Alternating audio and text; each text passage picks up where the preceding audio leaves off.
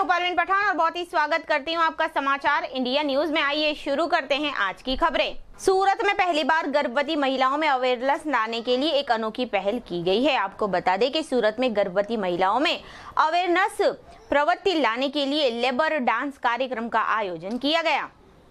101 pregnancy centre द्वारा खास तौर पर गर्भवती महिलाओं के लिए इस प्रकार के विशेष डांस का आयोजन किया गया था। जिसमें सभी गर्भवती महिलाओं ने लेबर डांस को बेली डांस फॉर्म में करके लेबर डांस का लुत्फ उठाया। इस कार्यक्रम में कुल 50 जितनी गर्भवती महिलाओं ने भाग लिया, चार माह से लेकर नौ माह तक की सभी गर्भवती महिलाओं के लिए इस लेबर डांस कार्यक्रम में आयोजन किया गया था। 101 प्रेगनेंसी सेंटर द्वारा आयोजित इस लेबर डांस कार्यक्रम में बॉलीवुड मूवी के अलग अलग गीतों पर गर्भवती महिलाओं को बेली डांस करवाया गया।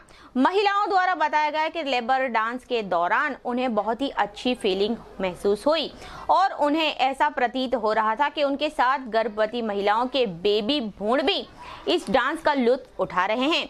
ऐसा उन्होंने अपने आप में एहसास हुआ। सेंटर की संचालिका तुषिता राठौड़ द्वारा बताया गया कि गर्भवती महिलाओं को इस तरह के लेबर डांस एक्टिविटी करवाने से गर्भवती महिलाओं के अंदर एंडोफ्रिन हार्मोन में बढ़ोतरी होती है और सभी गर्भवती महिलाओं में अवेयरनेस भी आती है।